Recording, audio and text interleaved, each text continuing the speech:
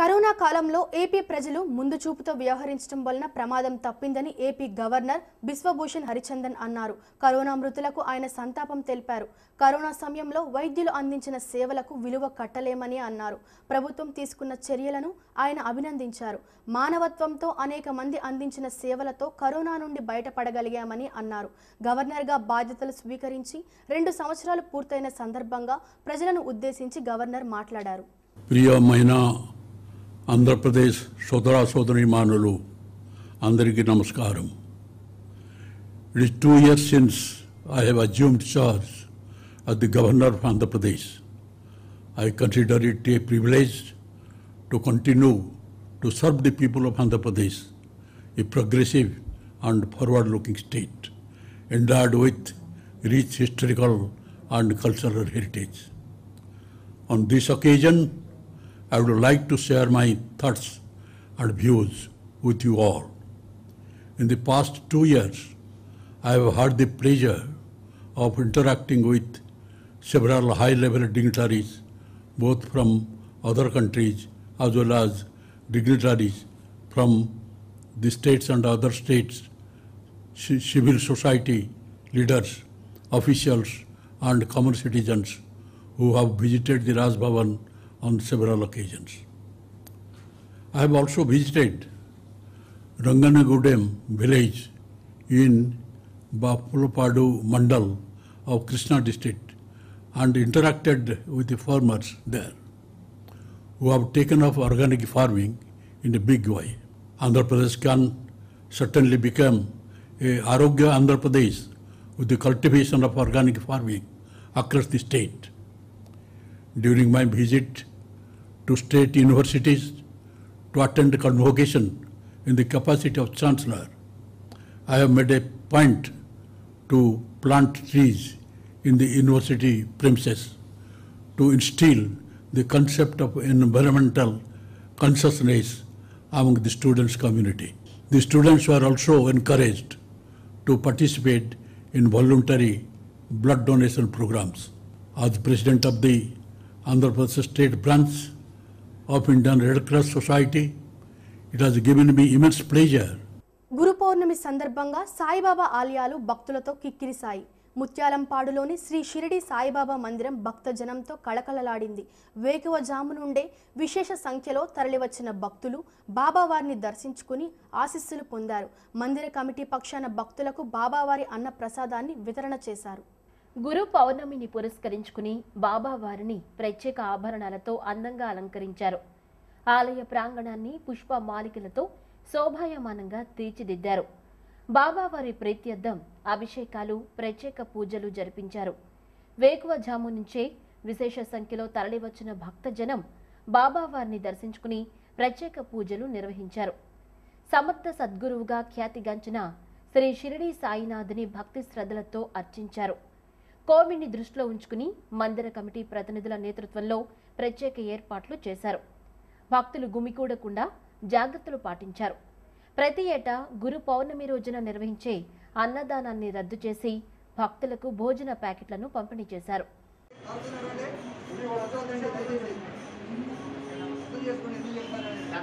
దగ్గర ప్రసాదం అన్నదాన ప్రసాదం కవర్లు ఇస్తున్నారు తీసుకోండి. గురు పౌర్ణమి వేడుకలు నగరంలో ఘనంగా జరిగాయి. వేకువ జాము నుంచే షిరిడి సాయిబాబా మందిరాలకు భక్తులు తరలివచ్చారు. బాబాకు అభిషేకాలు ప్రత్యేక పూజలు నిర్వహించారు. వ్యాస మహర్షి జయంతిని గురు పౌర్ణమిగా నిర్వహిస్తున్న క్రమంలో సద్గురు షిరిడి సాయిబాబా మందిరాల్లో భక్తుల రద్దీ నెలకొంది. వన్ టౌన్ చేపల మార్కెట్ దూది ఫ్యాక్టరీ సందులోని షిరిడి సాయిబాబా మందిరంలో బాబాకు ప్రత్యేక పూజలు అభిషేకాలు నిర్వహించారు. అనంతరం అన్నప్రసాద వితరణ చేశారు. మందిర వ్యవస్థాపక అధ్యక్షుడు పట్నాల హరిబాబు మాట్లాడుతూ రెండు వేల ఐదు నుంచి మందిరంలో గురు పౌర్ణమి వేడుకలు ఘనంగా నిర్వహిస్తున్నామని చెప్పారు. యావన్ మంది దేశ ప్రజలందరికీ కూడా గురు పౌర్ణమి శుభాకాంక్షలు తెలియజేస్తున్నాం ముందుగా. ఈ రోజున వన్ టౌన్ చేపల మార్కెట్ దూది ఫ్యాక్టరీస్ అందులో వేంచేసి ఉన్నటువంటి వినాయక దత్తాత్రేయ సాయిబాబా కనక మహాలక్ష్మి అమ్మవార్ల సన్నిధిలో గురు పౌర్ణమి ఈ రోజున జరుపుకోవడం జరుగుతుంది. గత ఏడు సంవత్సరాల నుంచి రెండు వేల ఐదులో ఈ గుడి స్థాపించడం జరిగింది. అప్పటి నుంచి కూడా ప్రతి సంవత్సరం కూడా బాబా గారు గురు పౌర్ణమి చేస్తే ఇక్కడ స్థానిక పెద్దల అందరి సహాయ సహకారాలతో మనం ఈ కార్యక్రమం చేయటం జరుగుతుంది.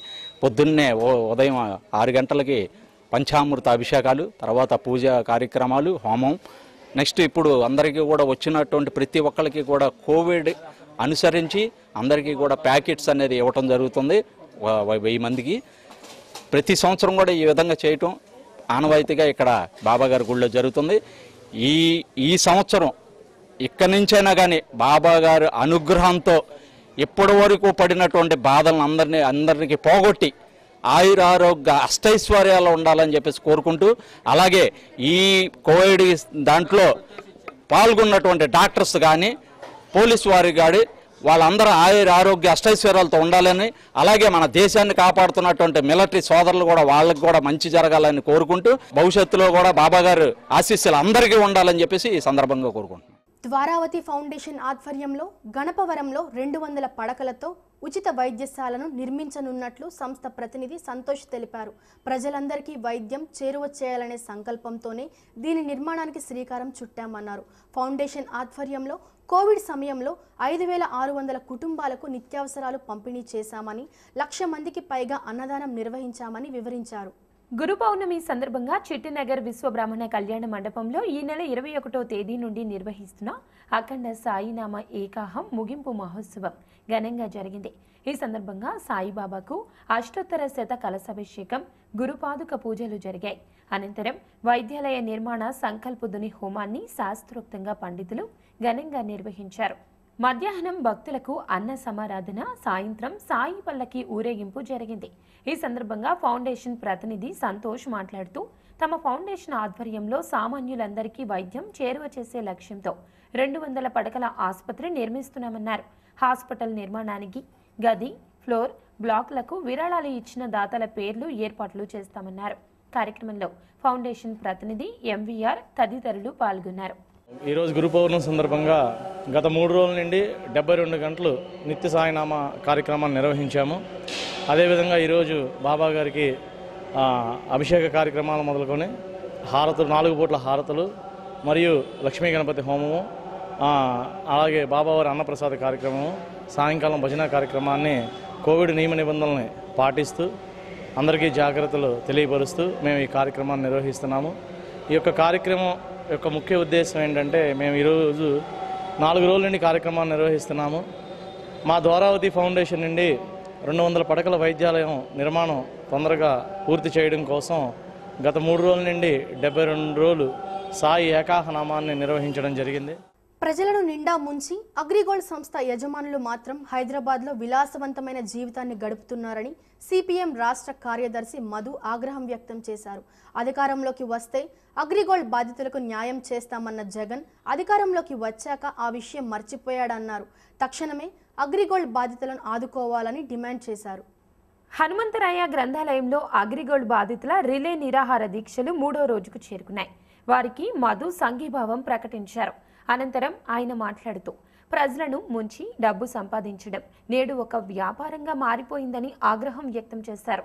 అధికారంలో ఉన్న వైసీపీ ప్రభుత్వం ఇచ్చిన వాగ్దానం ప్రకారం బాధితులను ఆదుకోవాలని డిమాండ్ చేశారు. బాధితులపై గత ప్రభుత్వం తీరు ఎలా ఉందో ప్రస్తుత వైసీపీ ప్రభుత్వ తీరు కూడా అలాగే ఉందని దుయ్యబట్టారు. ప్రభుత్వం తక్షణమే బాధితులను ఆదుకోవాలని లేని పక్షంలో ప్రజా ఉద్యమాలు చేపడతామని హెచ్చరించారు. నన్ను అడిగితే హైదరాబాదులో ఉన్నటువంటి ఈ దుర్మార్గుల్ని పట్టుకొచ్చి నడి బజార్లో ఏలాడదీయాల లెక్క ప్రకారం. అంత దుర్మార్గం చేసి ఈ ప్రజాస్వామ్యంలో ఎవరు పడితే వాళ్ళు ఎక్కడ పడితే అక్కడ డబ్బు వసూలు చేసి బ్యాంకులు పెట్టి జనాన్ని ముంచి ఆ రకంగా డబ్బు సంపాదించడం అనేటువంటిది ఒక వ్యాపారం అయిపోయింది. బ్యాంకుల్లో అదే పని బ్యాంకులు ముంచి అదే రకంగా చేస్తున్నారు. ఇప్పుడు అగ్రిగోల్డ్ సంస్థ అనేటువంటి ఒక సంస్థ పెట్టి ప్రజల్ని మోసం చేసి ఈ రకంగా చేశారు. అధికారంలో ఉన్నటువంటి పార్టీ చెప్పినటువంటి వాగ్దానం ప్రకారం జగన్మోహన్ రెడ్డి గారు ఈ అగ్రిగోల్డ్ సమస్యను వెంటనే పరిష్కారం చేయాలా? ఇప్పుడు రెండు వందల ముప్పై నాలుగు కోట్ల రూపాయలు ఇచ్చి ఏదో ఇస్తున్నాడు లేనటువంటి అనిపించాడు. వాస్తవంగా జగన్ చంద్రబాబు నాయుడు ఆయన ఉన్న రోజుల్లో ఆ మాత్రం కూడా జరగలేదు. ఈయన వచ్చి స్టార్ట్ చేశాడులే.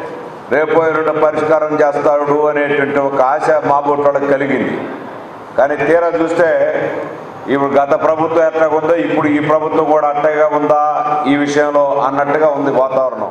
ముప్పై తేదీన జిల్లాకి యాభై మంది చొప్పున ముఖ్యమంత్రి గారి క్యాంపు కార్యాలయానికి వస్తామని అక్కడ రిప్రజెంటేషన్ ఇస్తాము.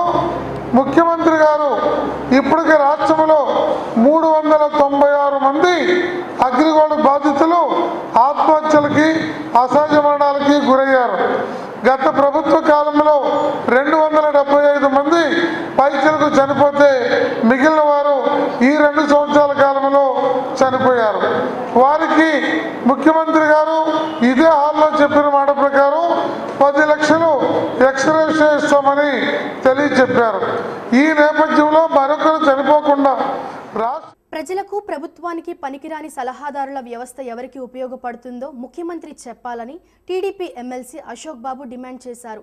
ఖజానాపై అదనపు భారం తప్ప వారి సలహాలు సూచనలతో రాష్ట్రానికి ప్రజలకు ఒరుగుతున్నదేం లేదని ఎద్దేవా చేశారు.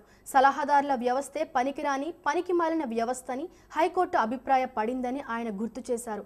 ఎటువంటి అర్హత అనుభవం లేకున్నా జగన్ ప్రభుత్వం నలభై ఐదు మందిని సలహాదారులుగా నియమించి అందులో ఇరవై ఐదు మందికి కేబినెట్ హోదా కూడా ఇచ్చారని తక్షణమే సలహాదారుల వ్యవస్థపై పునరాలోచన చేయాలని డిమాండ్ చేశారు. దాదాపు ఈ ప్రభుత్వంలో నలభై ఐదు నుంచి యాభై మంది సలహాదారులు అందుట్లో ఒక ఇరవై మంది దాకా కేబినెట్ హోదా. అసలు ఎవరేం చేస్తున్నారో తెలియని పరిస్థితి. దీని మీద తెలుగుదేశం పదే పదే చెప్పినప్పటికీ కూడా ప్రభుత్వం లెక్క చేయలే. మీ ప్రభుత్వంలో కన్సల్టెంట్ పెట్టుకున్నారు కదా మీ ప్రభుత్వంలో సలహాదారులు ఉన్నారు కదా. అంటే ప్రభుత్వానికి సలహాదారులు అవసరమే కన్సల్టెంట్ అవసరమే. అయితే ఎక్కడ అవసరం? ఆ సబ్జెక్ట్స్ ఏవవుతున్నాయో అందులో ఎక్స్పర్ట్ని పెట్టుకుంటారు. గతంలో రంగరాజన్ గారు ఉన్నారు ఆయన ప్లానింగ్ కమిషన్కి ఉన్నారు ఫైనాన్షియల్ అడ్వైజర్గా ఉంటారు. అలా ఎక్స్పర్ట్ అలాగే ఇంజనీరింగ్ సంబంధించిన రిటైర్డ్ ఇంజనీర్సు లేదంటే ఐఏఎం నుంచి కొంతమంది మేనేజ్మెంట్ ఎక్స్పర్ట్స్ అడ్మినిస్ట్రేషన్ కోసం ఇలా కొంతమంది ఎక్స్పర్ట్స్ని కన్సల్టెంట్గాను సలహాదారులు పెట్టుకోవడం అనేది ప్రతి ప్రతి ప్రభుత్వంలో జరిగే అంశమే. కానీ ఎంతమంది సలహాదారులు సలహాదారులకి క్యాబినెట్ హోదా వాళ్ళ బ్యాక్గ్రౌండ్ ఏంటి? ఇవి ఖచ్చితంగా అవసరం. ప్రజలకు కూడా అవసరం. ఎందుకంటే నువ్వు దాదాపు ఒక్కొక్కరికి మూడు లక్షలు నాలుగు లక్షలు జీతం ఇచ్చేటప్పుడు వాళ్ళ క్రెడిబిలిటీ ఏంటి? వాళ్ళు ఎక్కడి నుంచి వచ్చారు? వాళ్ళు గవర్నమెంట్కి ఏ రంగం ఉపయోగపడతారన్న తెలుసుకోవాల్సిన అవసరం. ప్రజలకు ఉంది. చెప్పాల్సిన బాధ్యత ప్రభుత్వానికి కూడా ఉంది. ఇది మేము పదే పదే ముత్తుకున్నాం. ఇది తప్పు. మీరు వృధా ఖర్చులు పెడుతున్నారు. ఇంతమంది సలహాదారులుగా ప్రభుత్వం హైకోర్టులో కానీ మిగతా విషయాల్లో కానీ ఎందుకు తప్పులు చేస్తుంది అనేది మేము పదే పదే ప్రశ్నిస్తే దాన్ని చాలా చులకనగా అవహేళనగా మాట్లాడింది ఈ ప్రభుత్వం. కానీ వాళ్ళ హైకోర్టు కూడా అదే కామెంట్ చేస్తుంది శ్రీమతి నీలం సా సాహ్ని విషయంలో వేసిన కేసులో హైకోర్టు స్పష్టంగా చెప్పింది. ఇంతమంది సలహాదారుల? హైకోర్టు జడ్జెస్ కంటే వీళ్ళకి ఎక్కువ మీరు పెర్క్స్ ఇచ్చారు ఎక్కువ జీతపత్యాలు ఇస్తున్నారు. బెజవాడ దుర్గమ్మ సన్నిధిలో వీఐపీల తాకిడి పెరిగింది. గురు పౌర్ణమితో పాటుగా శాకంబరి ఉత్సవాలు ముగింపు కావడంతో సాధారణ భక్తులతో ప్రజాప్రతినిధులు కూడా అమ్మవారి దర్శనానికి బారులు తీరారు. రాష్ట్ర పౌర సరఫరాల శాఖ మంత్రి కొడాలి శ్రీ వెంకటేశ్వరరావు కుటుంబ సమేతంగా అమ్మవారిని దర్శించుకున్నారు. శాకంబరి ఉత్సవాలు ముగింపు సందర్భంగా నిర్వహించిన పూర్ణాహుతి కార్యక్రమంలో కొడాలి నాని బంధుగణంతో సహా పాల్గొన్నారు.